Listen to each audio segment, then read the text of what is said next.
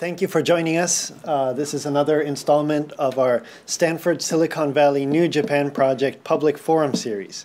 And today uh, we get to do one of the fun things at a university, which is take a lot of the existing literature out there and synthesize it and present it to the general public and also present some of our new research, in this case that's done by uh, our very own uh, Kanetaka Maki. So the provocative title of Understanding Silicon Valley and Startup Ecosystems, New Research and Academic Classics You Should Know. Because over the years, everybody keeps coming to Silicon Valley and then they keep trying to figure out how the ecosystem works. And it turns out there are a lot of books that have already been written that go through a lot of the things that people rediscover and over and over. So one of the purposes of this session, which will be recorded so you can see it again at some point, is, and we will uh, circulate the slides because they will have a lot of uh, summaries on them, is to just provide a basis of information that everybody can refer to as a starting point, and then move beyond there to do your own research, your own discoveries, and your own whatever activities you're doing. I'm Kenji Kushida. I'm a research associate here at the Japan program, and I'm leading the Stanford Silicon Valley New Japan project. So first, a couple words about the project. Uh, it, this is a platform to link Stanford, Silicon Valley, and Japan, the most exciting parts of Japan and how to harness Silicon Valley. Uh, and it's, uh, this project is a joint, uh, is jointly orchestrated by the uh, Stanford Japan program here at Shorenstein APARC and the U.S. Asia Technology Management Center in the School of Engineering. Our main activities are a public forum series with networking like this one, uh, research and publication, policy analysis and implementation studies, and a variety of study groups with international uh, and other collaborators like UC Berkeley, European Commission, Commission and Keio University, and a variety of outreach activities. Thanks to those of you who joined our uh, we hosted a U.S. Japan Venture Capital Conference that had about 700 attendees uh, overall last month, and we'll be doing a series of other outreach activities whenever the opportunity arises. We'd like to say thank you for our sponsors, which make our activities possible. We have at the diamond level, Kozo Keikaku Engineering, Platinum, Komatsu, Gold, World Innovation Lab, WIL, and uh, silver sponsors NEDO, the New Energy and Industrial Technology Development Organization, which is a branch of the Japanese government, uh, ANA, the airline, uh, Bank of Tokyo Mitsubishi UFJ, Nomura Research Institute, Omron, Startia, Rakuten, and our strategic partners. So thanks to them for allowing us to do this. So let's move on. Um, we have a homepage here. Uh, if you search this, it will turn up. The URL is at the top. If you go to our homepage, there's a section that has research. And if you scroll down research, it has several of the papers that uh, we've uh, written, etc. Along with today, we're going to talk about the essential reading list and the synthesis that I'm about to present. And there are some classics here that are a little dated, but they're actually still very much relevant. And that's the beauty of the ones that we've selected. So, uh, and we're going to talk a lot today about Martin Kenney's edited volume, Understanding Silicon Valley. Martin Kenney is a good friend and a collaborator of ours, and he's in uh, UC Davis. And he, more re a more recent book of his, uh, Historian, uh, and uh, AnnaLee Saxenian's Regional Advantage. Uh, she's very well known, one of the first people who analyzed Silicon Valley as a region when people were trying to figure out is it a certain technology, is it a certain set of uh, uh what other aspects are it, and she provided a whole holistic view of it.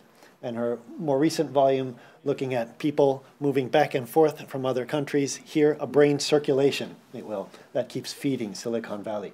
We'll talk about these in more detail in a minute.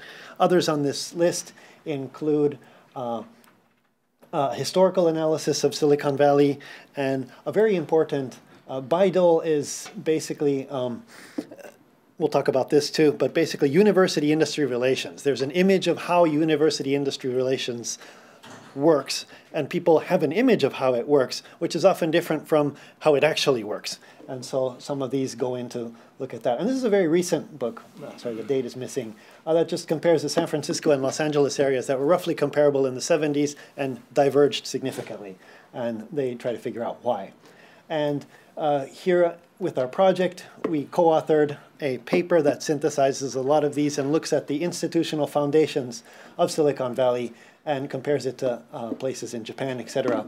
or Japan's overall institutions, and looks for um, ways in which institutions in Japan could be modified or altered to sustain more growth, or which ones in Silicon Valley should be harnessed if the ones in Japan can't be altered very quickly to uh, mimic what's happening here. So, so that's the list, and pulling out from this list a set of key characteristics. And you probably have seen various versions of this type of slide before. Well, we're just going to go through this very quickly and then uh, delve into the details about where these come from.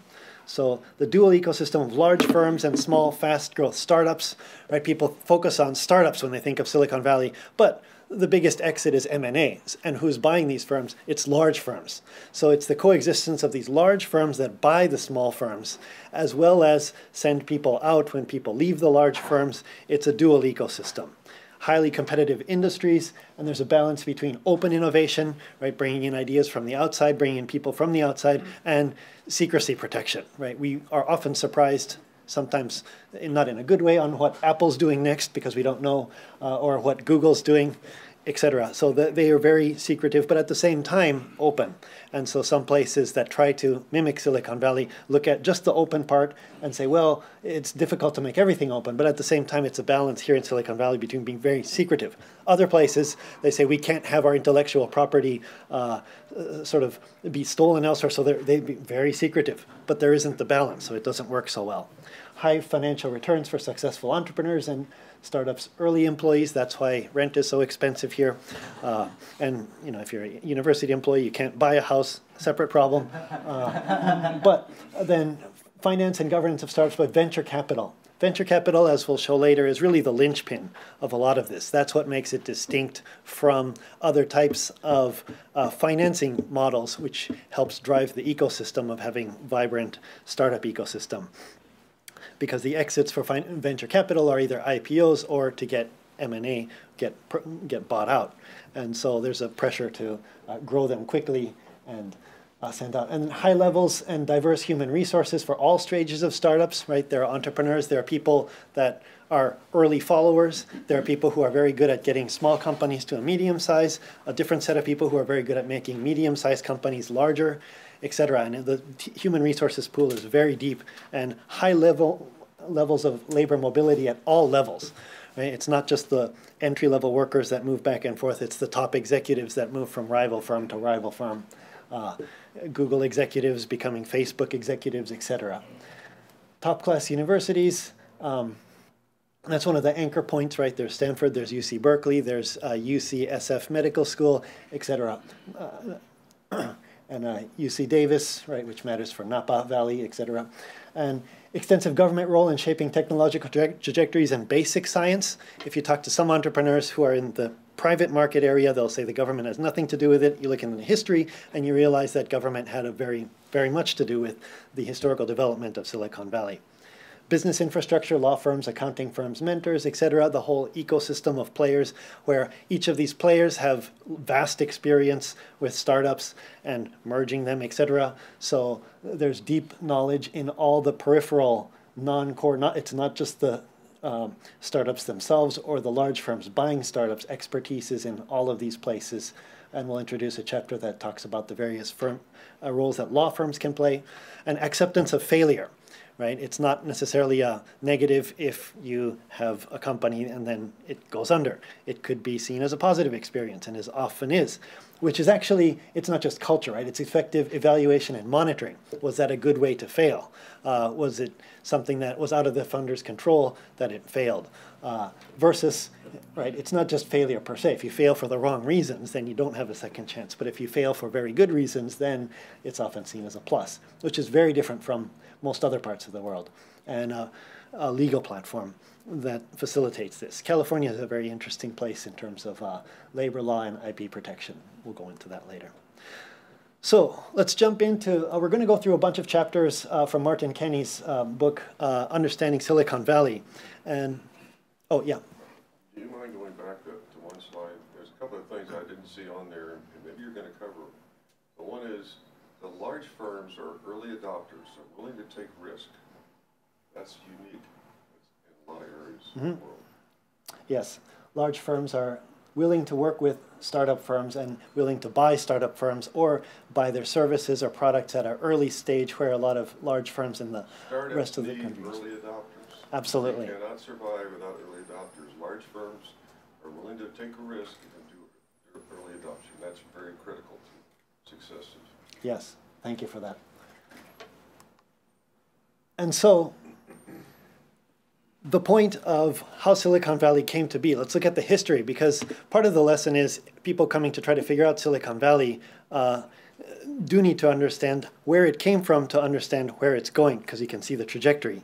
And so these slides will be available later. This is essentially a summary of some of the chapters in this book.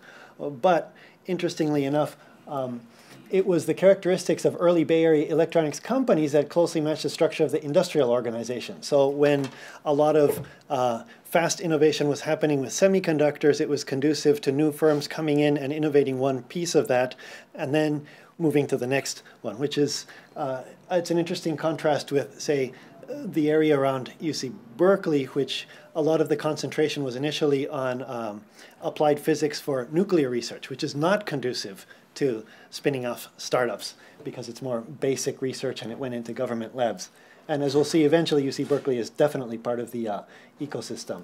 But some of the characteristics that were existing um, in the pre-war period, like a leading role for local venture capital, close relationship between local industry and major research universities, and a, a unusually high level of interfirm cooperation, tolerance for spin-offs, and um, a, sort of opposition to traditional, well-established firms. All these have a deep historical antecedent, and they've been accentuated in the 1960s onward. And one view of the military's role in Silicon Valley is that it was actually one of the first and biggest uh, angel investors, where the Department of Defense was willing to and uh, was willing to actually procure from fairly, at the time, not well-known startups. And the historical context is the Cold War, where massive processing power was needed. Semiconductors were critical to that. And so semiconductor development firms that developed semiconductors in this area were able to enter Department of Defense procurement uh, engagements, which turned out to then provide uh, funding to do their subsequent activities as uh, Varian Associates. So people then left there, started the next round of firms, etc. And if you look into the book, there are several topologies of the initial set of semiconductor, um, uh, uh, well, a, a, startup, William Shockley, who came and he was not, a, he, he basically invented the transistor and then he was a manager of the type that all his best people wanted to leave very quickly. They all left very quickly, and including in, included in there are people like Gordon Moore, who started Intel, uh, the people that started Varian Associates, etc. So, but this was a very big deal. Before venture capital was highly established here, the Department of Defense was a big buyer of things that were developed by Silicon Valley, which were then startups. Law firms play a variety of roles. Uh, we often get visitors to Silicon Valley, and some of them are from law firms or accounting firms, and they're very puzzled by how the fee structures work. Uh, how can you be paid in equity when that might not pay off?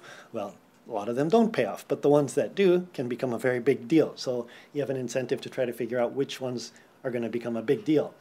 And uh, Mark Suchman has gone in and he identified that, and this is probably still true, that, uh, to a, a, large degree today, law firms play a variety of roles. They're not just transaction folks. They're deal makers, they're counselors, they're gatekeepers, they're proselytizers, and they're matchmakers. So very, and this developed in a very entrepreneurial system as uh, as Silicon Valley law firms wanted to differentiate themselves from San Francisco-based law firms and the big ones on the East Coast. But since it's a well, yeah, and San Francisco. And venture capital is really the linchpin of this. Sorry for the font size. Um, where if you think about what really makes Silicon Valley startups distinctive, it's that they're VC financed. And the incentives that come along with that tend to be going for high growth in a way that other forms of capital don't provide so well. So uh, they go through the history of how venture capital developed, the legal changes such as pension funds being allowed to uh, invest into VCs, which vastly expanded the pool of funding available to VCs to invest. And in their view, um, the Silicon Valley venture capitalists really um, innovated the limited partnership model, which is key to allowing VCs to perform in the way that they do. And that was that enabled them to uh, go well beyond bank financing, which was their initial set of funds they were using, into vastly expand their activities and then invest into startups all over. And interestingly enough, and we see this, um, we, we see this in other places too, but in once venture capital became successful and started to grow, uh, they created a, their own industry association and lobbied Washington for some changes, such as the, and they take credit for lowering the capital gains tax from almost 50% to just over 25%, which then enabled the returns to be much higher.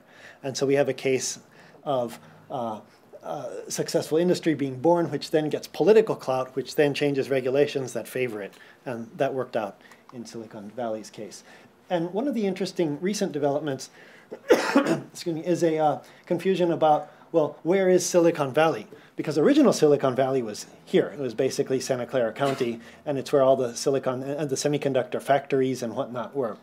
But if we think about it as uh, venture capital financed startups as part of the ecosystem, then absolutely San Francisco, parts of San Francisco are included too, right? Twitter, Salesforce, and well before that, uh, Genentech, et cetera. So, so there's a startup ecosystem that's basically has all the features of Silicon Valley that has now expanded into San Francisco and then places in between as well as uh, firms run out of space and go in between.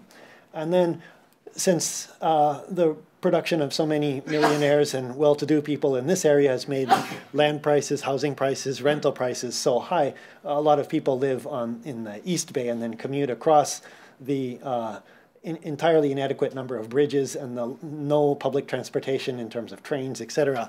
So, if, so if we think about it, a lot of places that try to figure out lessons from Silicon Valley often point to, oh, it's got to be good infrastructure and they're thinking backwards. There's got to be good infrastructure because there are a lot of development. It's the opposite. The infrastructure is terrible here for commuting. If you've ever, some of you maybe commute over here, from over here, and so, and then of course leads to business chances like Uber. Right? Taxis are terrible. There's not enough public transportation. Let's figure out a private solution, etc. But um, I would argue that the broader Silicon Valley ecosystem, which includes white collar workers, along with uh, the high paid workers, etc., would encompass this broader area. And a very interesting uh, experiment with uh, Google Maps that I saw recently that I couldn't resist sharing is Whole Foods, right? High income, nicknamed Whole Paycheck, depending on what your paycheck is, mine for sure. Whole Paycheck, a high, high end uh, grocery store. It's in the high income areas and then Walmart, it's in the not high income areas. And there's a clear demarcation of where Whole Foods is, is almost exactly where Walmart isn't. And they're almost entirely mutually exclusive. So you can sort of uh, proxy the income uh, distribution on how that is developing. And it's probably getting worse. Labor mobility, uh, corporate boundaries being porous. Um, this is something that we're familiar with. If you're trying to uh, make a business in Silicon Valley, it's very difficult to retain employees. It's very costly, et cetera. And this is a historical pattern. And uh, uh, along with uh, a chapter in uh, Martin Kenney's volume, this is one of the major aspects that uh, got AnnaLee Saxenian's Regional Advantage. It became one of the most famous books explaining Silicon Valley. And her more recent one, which is relevant for um, arguments about brain drain, which is looking into a lot of the successful people in Silicon Valley, noting that they came from places increasingly uh, like Taiwan and India, uh, Israel, and was this a brain drain for those places? Well, if you follow their careers here, it turns more into a brain circulation, where they bring their interpersonal networks here and then can move back and forth and take advantage of the resources from home and here and then bridge them in a way. And to Japanese audiences, I always say that she's very comprehensive in covering all the groups, and there's one particular group that's very puzzling that's not there uh, of highly educated, very hardworking, extremely wealthy uh, country origin people, and that's uh, Japan. Right? Japan has not been historically part of this, and so let's do something about that. Is what, uh, and then so then let's figure out how, which is one of the things that we do in our project. But the labor mobility from large firms to small firms. Um, my friend I play soccer with, I talk to him, what do you do? I work at you know big company X. I talk to him a few months later, what are you doing? Oh, I started my own company. Great, that's very typical. Talk to him again, what are you doing? Oh, I'm back in company X. Oh, okay, you got bought up because you knew people there and you were doing something the big company couldn't do at a low price. Fine, I meet him again a few months later or maybe a year later. I say, what are you doing? Oh, I started my own thing again. Okay, well, good for you. And then I see him again. Well, what are you doing now? You seem to be driving a Tesla. And uh, did you get big financing? I say, no, no, I got bought out again by company X. And so you just go back and forth. That's very typical, right? And uh, most large company cultures elsewhere, once you leave, it's much harder to come back in uh, if you're not at a very top executive level. So uh, and, and this has been a, a historical pattern for quite some time. And so the concept of flexible recycling, right? People are recycled and resources are recycled. Plenty of firms that then don't work out, the people come out, they have experience under their belt, they come together in different configurations, and uh, things cycle around. And an anchor of one of this is uh, this process is enhanced by the absence of the typical stigma associated with organizational failure. So this is back to that first chart. And the dual economy conception, right? So there, and and this is underappreciated, and this uh, speaks to the gentleman's comment earlier. Convent. So there are two important sets of economies that coexist. One is the conventional activities of existing organizations, such as established firms and other organizations, like universities, corporate research laboratories. And the second is a fabric of institutions aimed at encouraging and nurturing new firm formation. And these two are linked. And so, but they're conceptually distinct. And that's what we need to make sure we understand, especially as we're figuring out how to navigate Silicon Valley, how we're going to figure out how to take lessons from it or harness it. These two things coexist. Now, uh, a separate set of, it's a special issue uh, with a lot of uh, contributors looking at what happened to U.S. In academic institutions after the passing of, after the promulgation of the Bayh-Dole, Act um, in the, uh, let's see, was it 1980? Yeah, when it was passed. I mean, this was passed in the context of the U.S. recession and stagflation after the oil shocks. And what Bayh-Dole allowed was it allowed the ownership of an invention from federal research funding to reside with the university, small business, or nonprofit. Before that, so if you're a professor and you invent something, or you're a graduate student and you invent something, the university owns the IP. Before that, if it was a federal grant, the federal government owned the IP. And the federal government realized that the federal government is not very good at monetizing the vast trove of IP that they have, intellectual property. So this was a shift to try to um, uh, move that forward. So, so then, um, and, and, and the amounts of uh, government budget assigned to research, even in the 70s, was not trivial. So this was a big change in the uh, where the rights were assigned. These things don't happen very often. So it was a very interesting experiment. And after Bayh-Dole was enacted, universities all over established technology transfer offices. And this is what the rest of the world is basically looking at to try to figure out how to harness university produced intellectual property and get it to uh, produce maximum value in industry. So, so the question is, how well did it work? And a lot of people look at Stanford and they say, well, it seems to be working well, and so let's try to mimic that. But we need to be evidence-based about this. So let's look at Stanford's Technology Licensing Office, because again, we, we get a stream of visitors who always want to say, I want to learn about university-industry relations. Can you, can you introduce me to somebody at Stanford's Technology Licensing Office? And I say, well, first, take a look at this slide. So it was established in 1970, uh, over 10,000 patents and invention, invention disclosures since then, so approximately 4,200 licenses in addition to that, and about 1,200 active. Over the 44 years, 1.6 billion were generated by royalties. Great, that's a lot of money. But over a billion of that came from only three big inventions. This is not, three out of 10,000 is not a very good batting average. Those are the big winners. And, and then those three out of 10,000 generated two thirds of all the income over the course of the entire lifespan of Stanford's Technology Licensing Office. Remember, Stanford is the place that most people look at and say it's working the best, and it probably is one of the ones way up there, right? So only 33 cases generated over 5 million, and 87 generated 1 million or more in royalties. So let's put this in comparative perspective. And well, in 2014, 108 million royalty revenue, uh, 644 inventions generated income, but they only, uh, and they brought over 100,000. Six cases brought in a million or more. Legal expenses were 9.8 million, which was just under 10% of the revenue. Let's put this in perspective. Stanford's total operating budget a few years ago for one year was 4.4 billion. So 1.6 billion over 44 years versus uh, this is what it costs to run this place. So, uh, and then of that, 1.27 was in sponsored research, and 84 of that was from government sponsors. So the bottom line is um, that, well, so the bottom line is that this does not actually cover the operating budget of uh, Stanford. And it's alarming in some ways when I see fairly commonly the uh, policy discussion happening of places that are trying to revamp their university system, saying, let's let the universities take all the IP that's hidden, that's not being utilized very well, spin them out, and let's use that for university operating revenue. Okay, you can do that, but if this is Stanford, then chances are it's not going to work so well, and you'll be disappointed, and then you have to redo it a few years from that. So let's make sure that we understand this first before we take any drastic measures. That's the simple point that I'm making. So then what do industry-university relationships look like?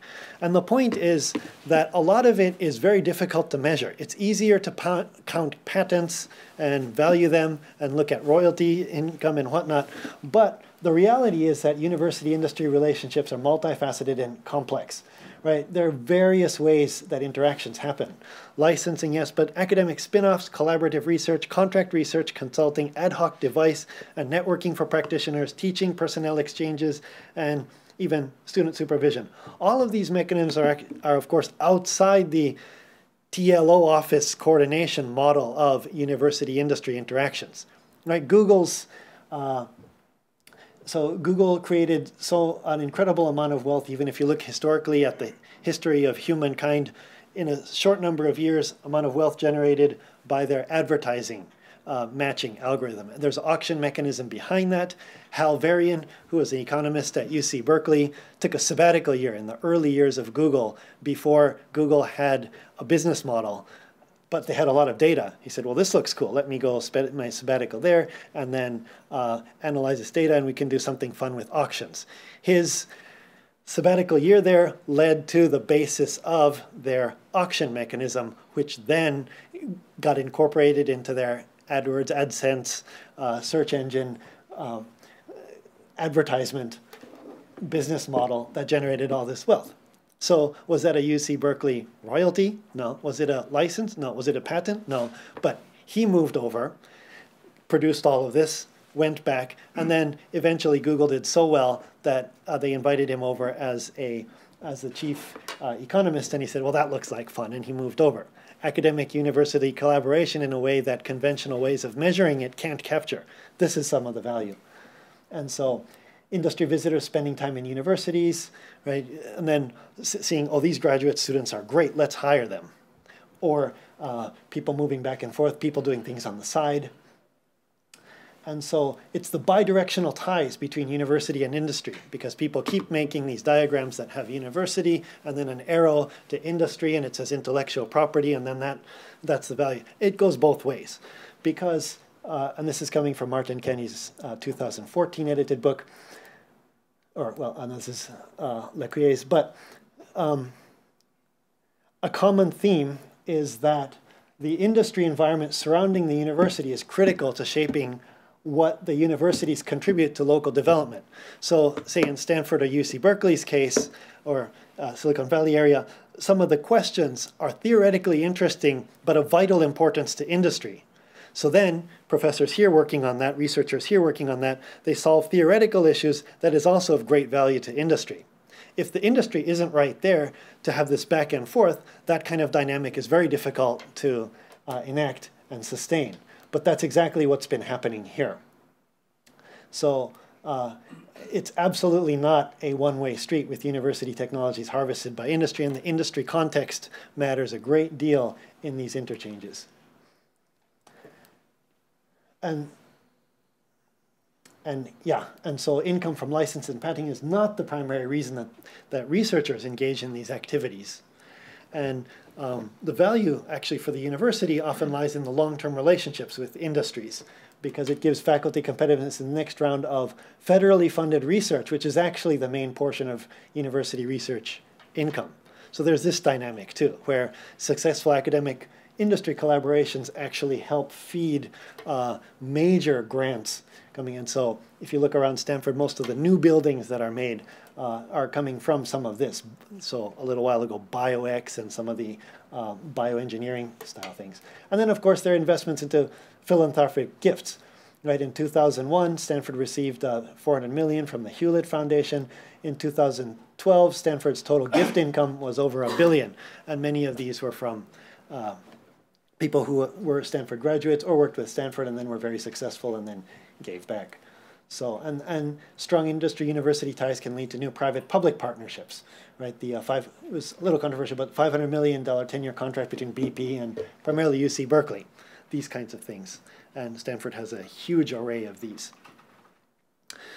Now, um, transitioning to uh, what Kanetaka is going to be talking about a little bit, but taking a step back from that, university entrepreneurship.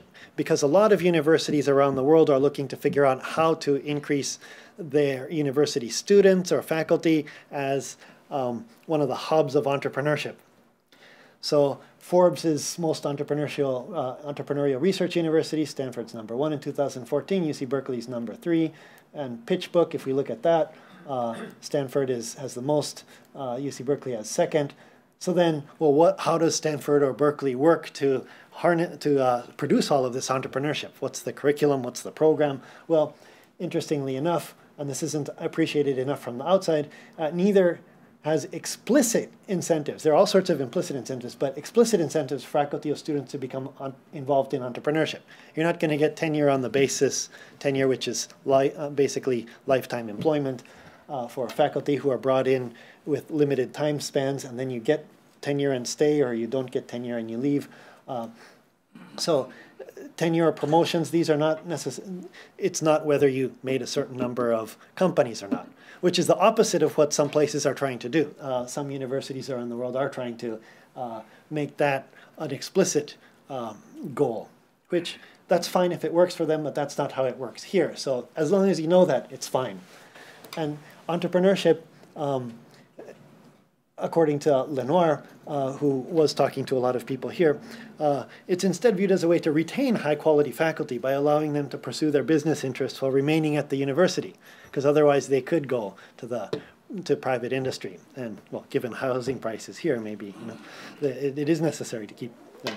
So but the point there is being involved in entrepreneurship. You can be on the cutting edge of all sorts of things, which enhances your teaching, which brings more people, and enhances your research, which brings better people, and you get in this positive feedback loop. So that's it for here. So now we've talked about academic entrepreneurship as the ending point. Uh, the other um, the other various readings there are there. Eventually, we will put up uh, sort of reading notes if you'd like. We'll do some directed readings and little study groups and put them up as a little cheat sheet. Although I recommend that it's not a substitute for actually reading those works because they're uh, really uh, in depth and just talking about what some of the main arguments are to people who are trying to figure out what's going on can be very value added. So. So thank you, that's it from me. Let's move to Kanetaka and his new research, because this was mostly existing research.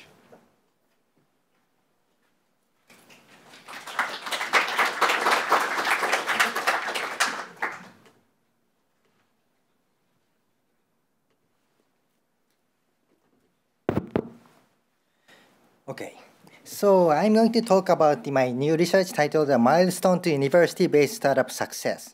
What is the impact of academic inventors' involvement? So let me start with my background. So I'm, I'm currently a research associate at the Stanford APARC. And prior to coming to the US, I was, the, uh, I was working at Keio University to launch the uh, university-based ecosystem.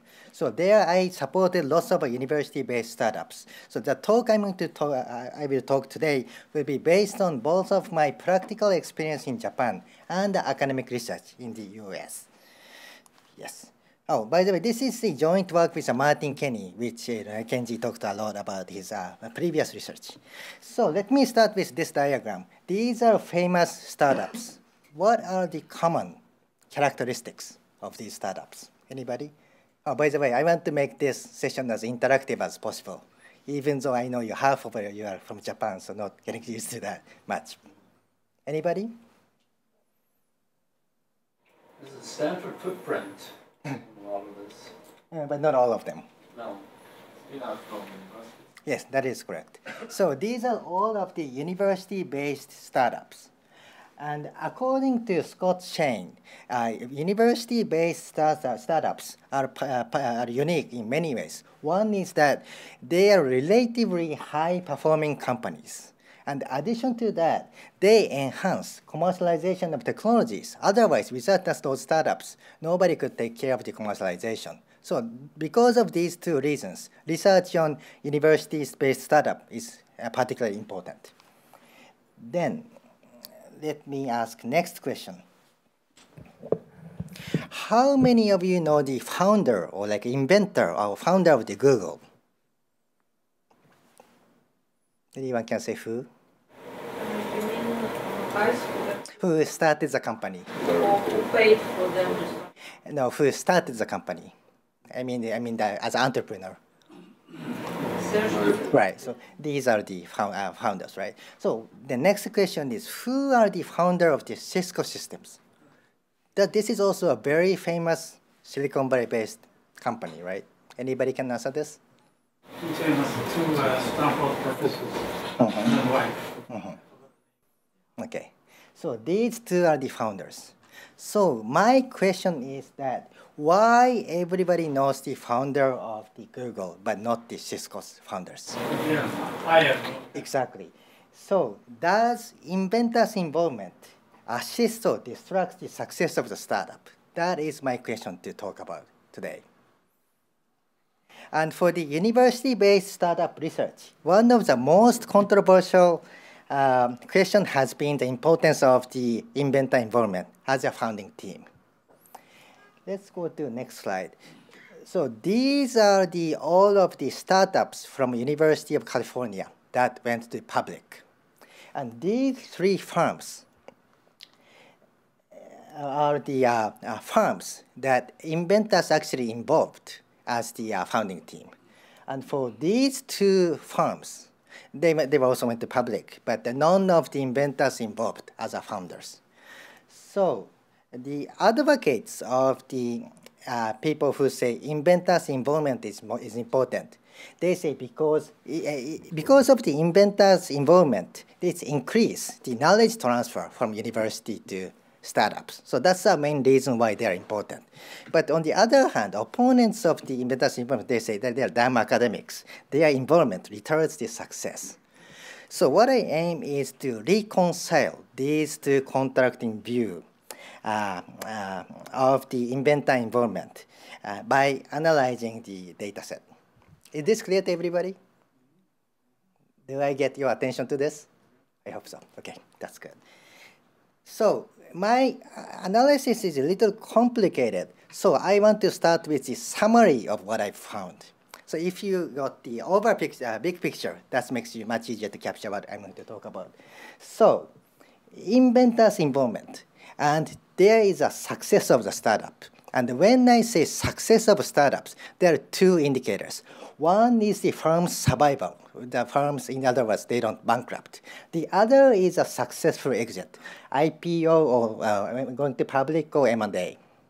Then, inventors' involvement has the direct positive impact on survival, but there is no impact on successful exit. That's first finding. Then, when we put the intermediate steps, which I will explain later, these intermediate steps seems to have positive impact on survival and successful exit. Then, to summarize, for the uh, inventor's involvement, impact on the survival, uh, inventor's involvement seems to assist. For the successful exit, it seems until intermediate steps, inventor involvement helps, but not after intermediate steps. This is the summary of what I found. Is this clear to everybody uh, so far? Okay, then let's go to and this research is relatively new because of a couple of reasons. Um, there are uh, previous research streams in this field. However, they are mostly based on case studies because of it's very difficult to uh, aggregate this kind of a data set. One is, you know, it's always a small sample size, or it's not comprehensive enough, in other words, not enough of the variables. And also, success bias. If we make the data set today, we can only gather startups that survives right now. So that's success bias. However, because of the support of the University of California's uh, Office of President, they made the uh, uh, data set of a University of California-based, patent-based uh, startup data set, which includes about uh, 550 startups from the year 2000. And interestingly, this is the full population of university patent-based startups. And I claim this is the largest data set in this world, in the world uh, to do this kind of research. So let me a little bit talk about the research hypothesis of the what I've done. So as I said, explanatory variable is the inventor's involvement, and we want to see the impact on the ultimate success, which, uh, which are the survival and successful exit.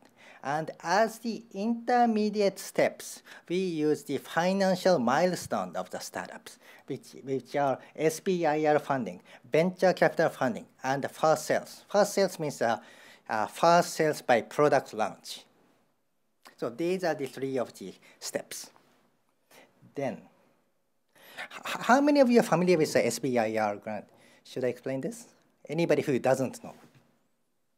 Okay, it's good to explain. So SBIR is a government-based policy that supports the small and medium uh, firms. So most of the, uh, the, so there are many of the research grants by uh, federal government. And those uh, grants, uh, they are required to allocate 2.8% of the, all of the grants to uh, small and medium firms. So, so some of the researchers claim that this is the one of the reasons why uh, uh, startup in the U.S. is success because of this program. So this is SBIR, which is a particularly important for uh, a startup uh, milestone at least. So in fact, all of these funding agencies, NIH, NSF, DOD, whatever you know for the uh, funding agency, they all have the SBIR uh, grant system. So this is a mechanism. So there is, so we want to check that inventor involvement has the direct impact on survival rate. However, there is also a, a, a indirect impact through SBIR funding. Uh, technically, we call this is a mediation uh, between the inventor's involvement on the impact of survival rate. So in other words, because of uh, uh, inventors' involvement increase the SBIR fund, probability of receiving SBIR funding, the survival rate increase. So that's the mechanism of the, this chart. So similarly, how does the venture capital funding mediates the relationship and the first sales of the product launch? So these are the hypotheses 1A, 1B, 1C. Is this clear? Am I talking too first? Is it okay? Or whether feel free to ask any questions at any time. Any questions so far? I'm curious about the data, how you, uh, in, in this database, that they have information on the role of the uh, inventor in, you know, in first sales and, and getting SB, SBIR and so on. So that's actually stated in the, in the data set? Uh, not all of them, but uh, the, the data set captures some of them. I will explain that when I talk about the data set. Uh, Yeah. uh, so inventory involvement enables some kind of funding, funding or money coming to the company, which enables company to survive Uh-huh. and uh, innovate. Uh-huh. So, uh, so I get that part. But after getting the funding, Uh-huh. said there's no correlation, no uh, advantage of keep having it. Is it ac- actually negative? Is there cases where it's? A- According to my analysis, uh, I did not find any of the negative impact. All I found is there was no positive impact. However, adding uh, the connecting to the prior research stream, there are many research that explains that the turnover of the founders is effective for the successful exit. So that means there's a negative impact. Uh, For the, for the other research, some people claim that. But in this data set, we cannot say that. All we can say is, is to guess. Okay, let me go. And similarly, now we change the uh, ultimate uh, uh, uh, goal, which is now we look the relationship of a successful exit and how does these three variables mediates the impact. Okay, so this is what I'm going to talk about by this analysis. Any questions so far? It's interesting. I get more questions when I talk in Japan. Any? Is it okay? Okay. So let me talk about uh, data set. So data set is the entire population of startups uh, uh, based on the University of California system from 2000 to 2013. This includes the 400 and 541 startups. And the variables of in this uh, database, so it's going back to your question, uh, is that includes the name of the firm, name of the uh, founders, name of the inventors of that patent, and affiliation of founders if they were in, in university or outside of the university, and the calendar year of the incorporation, exit year, reason for exit, firm's fate. Then they also have include like existence of the uh, product on the market, or like uh, SBIR grant uh, and venture capital funding and uh, receipt of the royalty because this is a patent based and the university really want to capture the profit so it, it should be very accurate when they have the product or not then as I think all of you know, you know, uh, University of California system has uh, 10 campuses, five medical schools, and uh, three national laboratories, and uh, so on. And uh, six of the campuses are listed among the top 50 universities in the world. So, you know, this is a high reputation uh, university system. Then,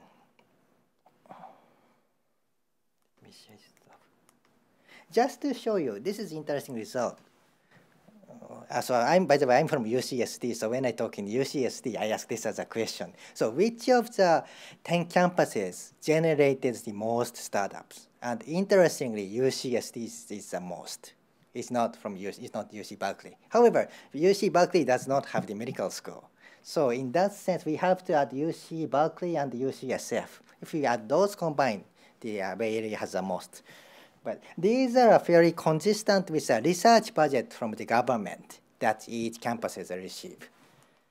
Then these are the tech technology categories of the 541 startups. So as you can see, biomedical dominates most like uh, 60% of the whole uh, uh, uh, data set. So I, I, so I just wanted to, uh, to point this out that this is in a way biased. This is a patent based. So that means more biomedical firms are included. And usually IT startup does not require the patents. So the, those are not included. But this is matter of the, what's the definition of university-based startups. So in my definition, it's uh, patent-based. So that's why it's the full population. Then, how, how many of the uh, 541 firms went to public, do you think? Out of 541. Some you know, Japanese government tries to like uh, make 100 companies to go to public. That's what they were you know, claiming. How many do you think? 55? Five. Five. 50. Huh? 50. 50. And you said, okay, 50. Anybody? 15%? Uh-huh. Okay, anybody? So we only have five. This is all. So this is, I think, it's, it's interesting to know. Then, addition to that, M&A, merger and acquire acquisition, they have 43. So it may, it's obvious, but uh, uh, uh, M&A is a more common exit for the university-based startups. And we add these two, so we have like a 48 firms that had a successful exit, which is roughly 10% of the all of the startups. Then, uh, just to show you, this is a chart of, so this is the uh, firms that survived.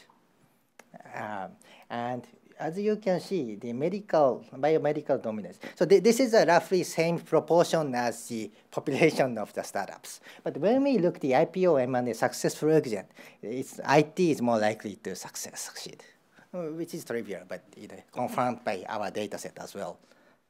Is it because uh, it takes longer there, there, uh, there, are many reasons, I think, but definitely that's one reason.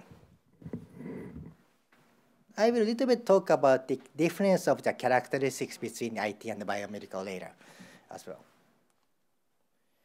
Okay, any questions so far? Now we go into the analysis. And I don't want to talk about too much about the academic you know, techniques or analysis. So I will briefly explain what I've done. So this is the analysis I've done.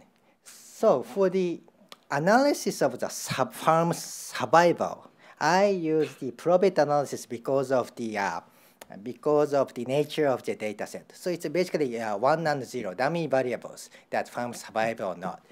Then as the uh, inventor's involvement for this variable, I use the proportion. So what I mean is uh, total number of inventors became founders divided by total number of the inventors. This captures the magnitude of the inventor's involvement on the startup. And uh, I will little bit talk about what's other indicators for this, but, but this is what I used. Then I control the industry sector, like biomedical or IT or different. Then, of course, there's a characteristic by campuses for example, in Silicon Valley, UC Berkeley and UCSF must has a different characteristic from UC Davis, let's say. So, you know, those are campus characteristics. Then also there's a boom of the launching a startup. So I control the uh, incorporate year dummy variables and also the intermediate steps. Then what I found is inventor's involvement has a direct impact on survival rate. It was statistically significant. Then for the intermediate variables, SBIR uh, funding uh, is that, uh, positively significant on survival rate. And the same for venture funding and for sales. So all of these were positively significant, basically. Then now we look the intermediate steps, which is SBIR grant, venture funding, and fast sales. And all of the control variables are basically the same. Then you can see. SBIR hand, uh, so uh, inventors involvement has a positive impact on SBIR funding. But there is no impact on venture funding. And th this is also interesting result, I think, which I will explain about it a little bit later. Then, for the first sales, there's a positive impact. And interestingly, I mean, yeah, this is going back to maybe your question. A biomedical sector first says the probability of the uh, launching a product is lower for a biomedical sector in comparison with IT, which is trivial but confirmed by data. Then, this is a statistical technique we, we use in the management research, which we call the mediation test which means does the mediating variable like SBIR grant mediates the relationship between inventor's involvement and survival rate. And we have to satisfy for, uh, several conditions on this, which is there should be direct impact of the inventor's involvement survival rate and direct impact on uh, SBIR funding to the mediator. then when we control these two variables together, together, SBIR funding must be significant. And when we uh, compare these two variables, this coefficient must become smaller than the original one. This is a technique to show. So uh, as you can see, SBIR grant mediates the relationship between investors' involvement and survival. Then for the venture funding, because there is no direct impact on venture funding, it does not mediate. Then when we go to first sales, it satisfies all of the requirement I mentioned. So it's confirmed. So as I can see, uh, as a result, uh, uh, hypothesis H1A and H1C, SBIR grant and first sales mediates relation, relationship. This is the first part of the analysis. Any questions so far? Good. Com convincing? I hope it's convincing to you. Okay. So this is the summary of what I found. Inventors' involvement has a direct impact on survival analysis, survival rate. Then there is an impact on SBIR funding and first sales product launch. Then the, there are the impact from these intermediate variables. So in other words, there is a, a, a, a causal chain between inventors involvement, SBIR funding, and survival rate, and for the inventors involvement for sales and survival rate. So this is essence of what mediation is about. Okay, so let's go to next, uh, the second part, which is a successful exit. So uh, for the successful exit, we use a different uh, statistical technique because we have the exact date of the IPO and M&A. So now we can not only, uh, we can also look the uh, uh, length of the, uh, of the achieving the, that event of like IPO, M&A. And basically, control variables are almost same except I also control the age of the farm that uh, event has, uh, has happened. So uh, for there's a dummy variables uh, for my thresholds. For the uh, analysis of the exit, I use the four and seven years as a threshold. And for the intermediate variables, I use two and three years, which I will explain a little bit later with, with the result. So doing this analysis, what I found is inventor's involvement is not significant for the successful exit. Then for the SBIR funding, uh, is significant on successful exit. And venture funding is uh, significant for success exit. And uh, first sales, the product launch was not significant. And as you can see, so this is what I've talked about. So this is the dummy variable that explains uh, uh, the age of the farm. It's the, so this is the far, farms that's uh, age is uh, four to seven years, and this uh, row is uh, more than seven years. And all of them are negatively significant. And when we compare the size of the coefficient, uh, the coefficient is larger for the more than seven years. That means the longer firm survives, less likely to exit. So success early or fail. That's, uh, that's the point uh, from this analysis. Then again, biomedical success less likely to success, which is understandable. Then SBIR funding. All of the, uh, so invent, impact of inventor involvement on SBIR funding is positively significant. Then there was the uh, association between first sales and the SBIR funding, which might be, uh, which does make sense because SBIR funding aims to launch a product and they get the uh, non-dilutive funding, so that helps. Then what's weird is the so the, this is tough to explain in an easy way, but interaction effect of inventors' involvement and venture funding is negatively significant, which is, I will explain the interpretation of this later, but this is interesting. And again, the longer firm survives, less likely to receive SBIR grant funding. Then now venture funding, it was not significant. There was no impact on inventors' involvement. And there was a uh, association with first sales. And again, the, the interaction effect of the uh, inventor involvement and SBIR fund is negatively uh, marginally significant. And again, uh, the firm survives, less likely to receive venture funding. And first sales. So there's a direct impact of the inventor's involvement on the product launch of first sales. And there was association with uh, venture funding. Then again, yeah, the longer farm survives. So there is no hope for farms to survive in the aspect of the successful exit, basically. Then for the mediation test, since there is no direct impact, the, all of the mediation tests are rejected for a hypothesis to A, to B, and to C. So this is the summary of the uh, uh, of the mechanism what I've talked about. So inventors involvement has a SBIR uh, has a uh, impact on SBIR funding of first sales, but not the direct impact. And the SBIR funding seems to mediate uh, to have a positive impact on successful exit. Then this is what I found that this is an interaction effect. What mean is a conditional on, on a venture uh, capital funding.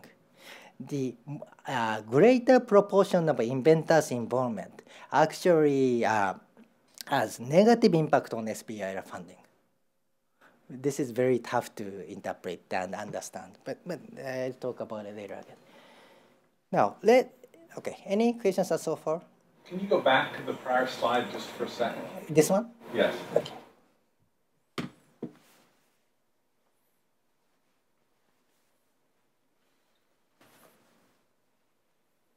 Okay. What does the minus sign there mean? Yes, that's exactly the puzzling part, which I will talk about a little bit in the conclusion part. But one interpretation is that these two, S, probably, potentially, SBIR funding and venture fundings are the substitutes. They don't get together. That might be one interpretation, which is quite interesting because if the firm receives SBIR funding, they won't receive venture funding, probably. If that's true, that's very interesting finding. Okay. Did I answer your question? Okay, go ahead, yes. Sorry, uh, could you explain a little bit more on the inventor's involvement? Is that the development of the product or service as an engineer, or does that cover development of strategic planning for marketing business, or even the sales, or combination of all these things? So, or being a public face for the advocacy. So, uh, at, uh, I would say including all of them. And I don't do case studies at this point. All I have is the data. And, uh, and, and, uh, and the definition of data is that the definition of inventor is all of the uh, people who, whose name was on the list of the patent. That's the definition of inventors. Then founders, there's a definition of founder for each startups. So I look the overlap. And I think your point is true that I need to do some more interviews of these startups to see more of the mechanism of the what inventor involvement is really is. That's also the next step. Okay, so let me uh, talk a little bit more, more about the what's interesting about our results. So, SBIR funding and venture funding and for sales are they, is there any chronological order for this? So many people believe that SBIR funding, this is a grant to make the prototype uh, of the product. So usually, uh, I think there's a typo. Anyway, uh, funding should occur prior to first sales. That's, you know, uh, that's a common intuition. Okay. And also, uh, I think there's a typo in this slide. So I will skip, but I want to know the order of the, these three milestones. Then what I've done is the, using the data set, I created dummy variables of the uh, uh, of each event. So when SBIR occurs prior to venture capital, the SBIR basically becomes 1. And if it's uh, opposite, it becomes 0. And I created all of these uh, variables. And uh, hypothetically, if these occurs randomly, the expected value must be 0.5. So is, that, is there any uh, differ from the 0.5? What's the analysis? And what I found is, okay, this is the result. There was evidence that SBIR funding occurs prior to venture capital funding. And the first sales, product launch, occurs prior to venture funding. Uh, by the way, this is unique, isn't it? Because many people believe it's opposite in some time. Then there was no evidence between SBIR funding and first sales, the, uh, the order for that, which was also interesting because SBIR is designed for prototyping and launching a product. Anyway, maybe this is because of a sample size, but there was, we could not find any evidence. Then, when we uh, decompose the sample to IT and biomedical, biomedical startups, how are they different? And basically what I found was for the IT, that mediation effect didn't occur. So all of those explanation is mainly driven by biomedical firms rather than IT. That's also the finding. And for the biomedical firms, yeah, there was, so there was a little difference from the pooled sample, which was uh, first sales. Uh, there was not media, was uh, mediation test, test didn't pass for the first sales. Okay, now let me uh, uh, show you one more interesting result. So as the inventor's involvement, as I said, I used proportion to, I want to capture the magnitude. But instead of using proportion, what happens if we use the dummy variables? In other words, one of the founders involved or not. How does it affect the result? And what I found interesting is that now venture capital funding is significant. That means venture capitalist does care about inventors' involvement as a, but magnitude doesn't matter for them. So they get one inventor's involvement, but not how many.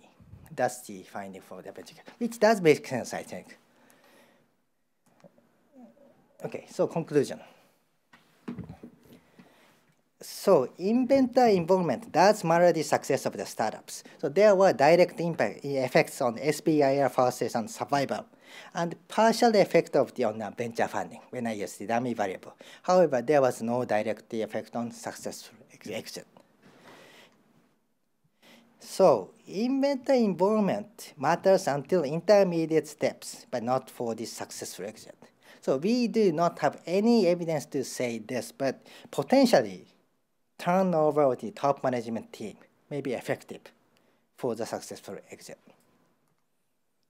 These two results reconciles the two contracting views I raised in the beginning of the inventor's involvement. And new research question. So going back to your question, one of your questions, the negative moderation effect of venture funding on inventors' involvement and SBIR funding is puzzling in many ways. So what I want to try as a next step to do this research is that uh, to find out what this mechanism is about. So traditionally, many people believe that SBIR and venture funding are the funding for the different stage of startups. In other words, they think these are the uh, complements. But as this result, probably they may be the substitutes. So potential explanation is that there are two types of startups. One is low growth startup. They care about the more inventor involvement. They look for SBIR funding and the exit goal is to survive. The other is a high growth firm, which is less inventors involvement, venture funding, look for venture funding, and successful. Probably there are two totally different type of startups, which now we call university-based startups. Yes. Uh, when you mentioned about uh, venture capital, uh-huh. that, uh, just like institutional venture capital or including some angels? No, no, no just institution. Uh-huh. Then let me, you know, since this, you know, this event is for practitioners, let me talk about the implication. One is the entrepreneurs and the inventors perspective. Inventor involvement matters until intermediate steps. So when is a good timing for them to step down? That's is, is a really tough question. And uh, appropriate timing, it's tough to say, but probably after the receiving the SBIR funding or product launch, that's the appropriate time. I mean, at least we have evidence that until these milestones, there's a positive impact. So that's one, yeah, potentially the, just after product launch might be a good timing for them to step down. Then for the investor's perspective, distinguish those two high growth and low growth firms is, these uh, are fundamentally important. So, you know, yeah, that's one. And then, yeah, SBIR funding and venture funding are potentially substitutes. I think this is a very interesting implication for practitioners as well. And as a future research, I do have uh, more you know questions to answer. So one is I use the probit analysis, but that has the technically uh, censoring program uh, which I have to deal with. So now we are gathering the new data set, including the date of the bankruptcy. So we have the more precise uh, analysis on this. Then also we are looking for the characteristics of the founding team. Does the, the student entrepreneur and the faculty entrepreneur, are they different? Are they different in strategy or like a successful rate? So we have all that kind of data sets, so we want to analyze that. Then also we want to check the gender difference. Is there any difference of the gender? Or like ethnicity, or is there any particular countries that start more companies and success. Then uh, high growth, low growth firms. And uh, also, in this data set, we have all of the uh, data of the funding agency for, uh, that uh, supported the original research. So is there any uh, difference between um, um, difference by funding agency on success of startup? you know, there are many research that explains that DOD has the uh, is focused on the applied research. So their invention is more likely to you know commercialize. Is it, true for startup or not? So we want to compare that. Then how can we generalize our results? Is the uh, is next question as well. And I think all of these uh, questions uh, also has a practical implication as well. So I look forward to you know, discussing with you uh, for these topics. Yes. Uh, is there any kind of a, uh, research? I know it's hard to quantify reasons for failure. If you go to websites, you can find like 20 different reasons why startup fails.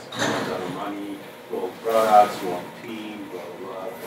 Uh, is there any any value to looking at each uh, company and then coming up with some statistical analysis of cause?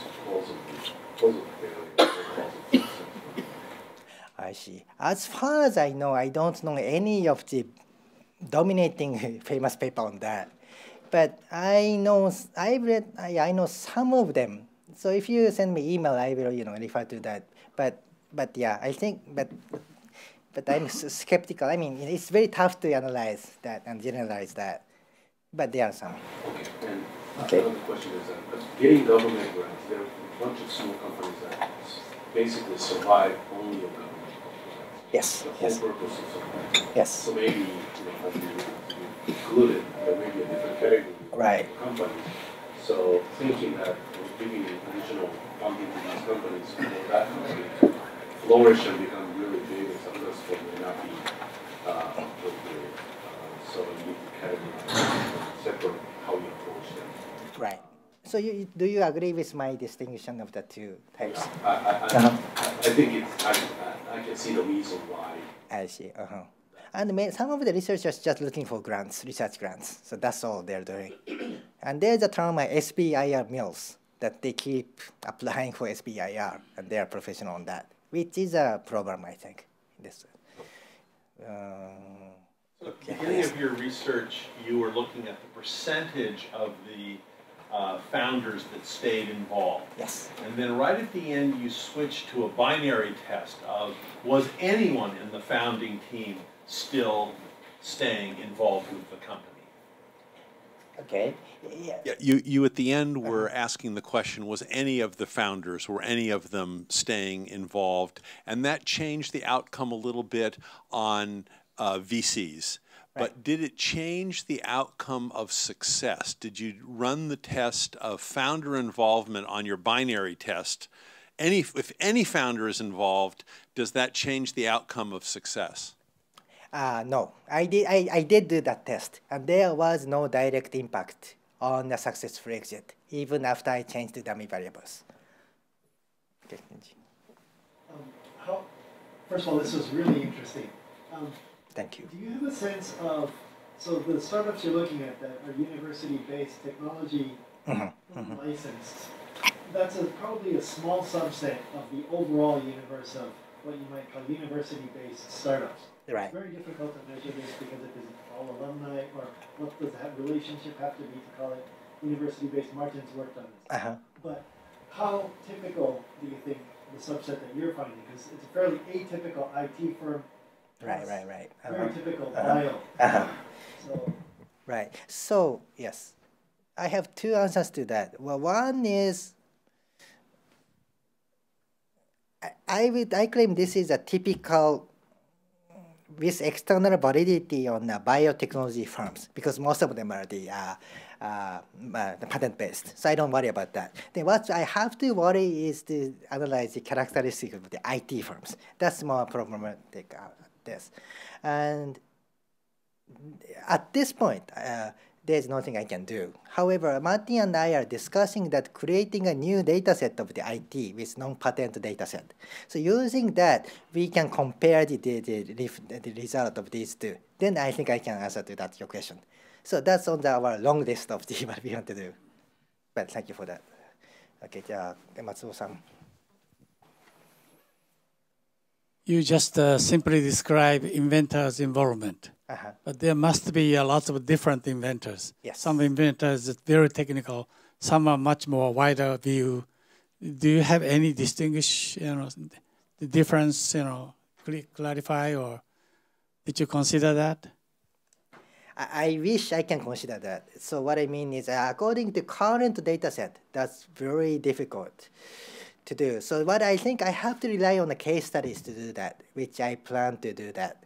And addition to that, some of them are part-time and some of them are full-time, which is a big difference of inventors' involvement. And for that, probably we can aggregate a new data set to look at. And that's on the list as well. Uh, at this point, we haven't done that. Yes. Yes. Uh, uh,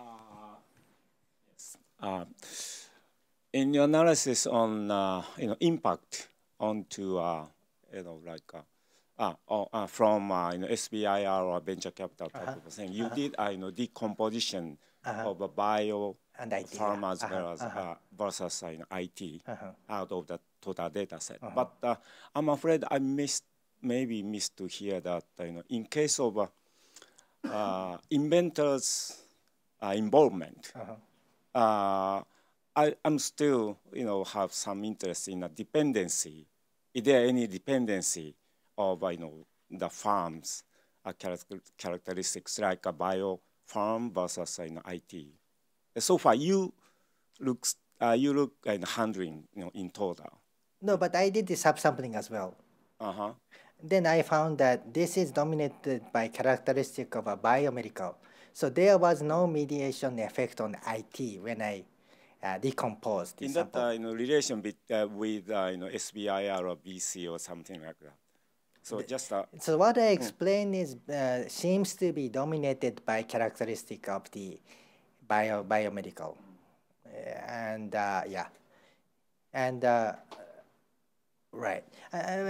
let's talk a little bit more offline, but there was some difference but uh, in the case of IT, most of them are not significant in many ways. I, yeah, if I had interesting result, I was talking today. Um, could you also talk about the last two, um, like two types of startups that you um, categorized, like the low growth versus the high growth startups?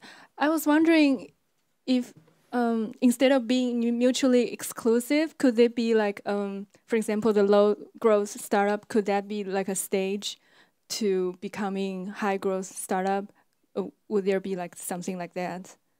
So according to my analysis, the longer firm survives, less likely to succeed, which means they are not substitute, I think. I mean, that's not by stage, but totally different characteristics by nature, I think as far as my data explains.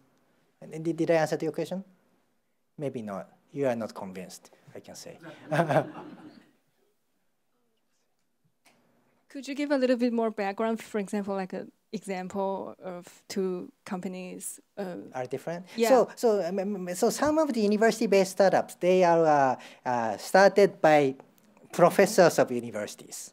And the incentive for those professors are to get the new research grant outside of university because of the like NIH grant inside the university is too competitive to receive the grant. So their goal, incentive, is to find a new source of research budget. That often happens in a low growth firm. Did I answer to your question? And uh, for, the, for the high growth startup, that's more like a traditional, what we believe university startup is about right now, I think. Thank you. Okay. Any other questions? Yes. So, in my experience, the low growth SBIR startups uh -huh. are ones that tried to be high growth startups and failed. Oh. They were unable to get VC funding, and therefore they have decided to survive on SBIR funding. They didn't necessarily start thinking, oh, I'm going to be a low growth startup from day one. They're sort of a failed state. Um, um, and I think you're quite right. They very rarely become superstars. Uh -huh, once, uh they're there, uh they're in a new category and they're stuck there for a very long time. I think your observation of grow fast, grow quickly, um, or you just get stuck. I think that's probably true. I, see. I, I think your you. data matches the reality out there. Uh-huh. Thank you. So your point is there are two types of low growth startups. One is what I, explain, I explained, and the other is they tried to be high growth, but they failed. I think okay. that's most of them. I see. And th that's also interesting to, to, to uh, check. Yeah, that's interesting. Thank you.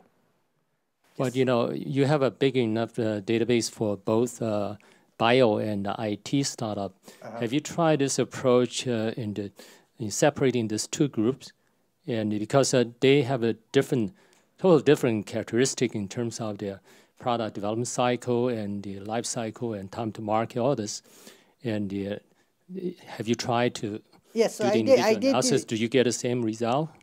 So I did the subsampling. Maybe I didn't explain very well, but I did subsampling for IT and biomedical.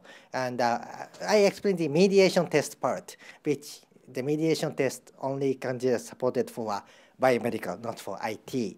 So that's the difference of characteristics. However, as you said, yeah, let's say I did compare the uh, like a sub, uh, survival rate and survival year by industry and those kind of uh, basic statistics as well. But I didn't find anything that much interesting, so I didn't report today. But if you have a particular questions, I'm happy to answer. But I did do that. Yes. I was uh, thinking about implication to Japanese uh, university startups. Ah, that's yes. I, I, I understand that maybe five, ten years ago, uh, government uh, solicited uh, 1,000 university startup companies uh -huh. to come up. Uh -huh. And I actually understand it, 2,000 came up. Yes. But not all of, most of, maybe 99% of them are low growth, nothing happening. I think so too. So I really like you to think about any suggestions to how to make a high growth startups in Japan people are thinking about low growth only. that is a very, very important invention for you. I really rely on you, if you could. That's in a very tough question that I should be answering, and which yeah, which is important. And Actually, I, I yeah, I, I'm still thinking about that actually for a long time, and probably few answers for that. One is probably SBIR funding is not necessary in Japan because that doesn't. Right, and you know, the government has been trying to yeah, imitate SBIR funding in Japan as well, which I think as a result it's got worse. So that's one. So yeah, that's one. The other is so you know, government is trying to uh, professors to also become entrepreneurs in somehow. I mean, you know, they encourage uh, as a policy. But probably what we, we found here is less inventors involvement is better, probably for the uh, for the successful exit, and especially for the second half of the uh, startups, inventor does not uh, necessary. That means like a sabbatical or, you know, for like uh, dealing with a conflict of commitment and conflict of interest, uh, interest, mm, interest issues in the universities. Probably university does not have to encourage professors to be entrepreneur that much. And that's maybe other policy implication. I, I know this is not convincing enough, but I'm still trying. and I, it's always welcome to listen to your suggestions for this, because this is particularly important. Uh, you have a data for the uh, management, uh, people in the management, not only the inventor uh, becoming a, a management team? So, the so I have the all of the uh, data of the uh, founders which is uh, nearly equal to the management team in the beginning. But I don't have the data for the turnover of the uh, founders, which is very tough to aggregate.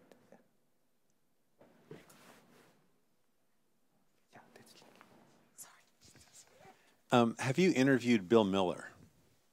No. So Bill Miller okay. used to be the, the provost here, yes, and he, prob him, yeah. he, he probably has more firsthand knowledge mm. of this ecosystem. Uh-huh. And I think he could give you some hypotheses wow, to to test because he really he, he he knew dozens of these people, and I've had a chance to talk with him a couple of times, mm-hmm.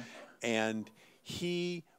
I think would agree with everything that you've said, or most everything. He would disagree, I think, mm-hmm. on the importance of the university's support um, for the professors and the students being um, uh, involved. And I think he would have counterexamples and a way to perhaps explain the data that would be helpful I to see. you.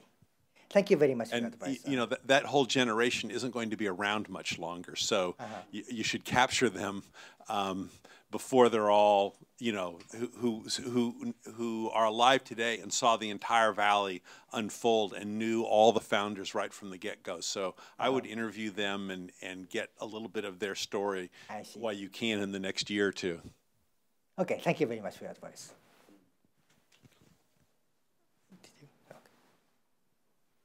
Any i think we are running out of the time i guess. So we should close. Okay. Yeah so thank you very much thank you very much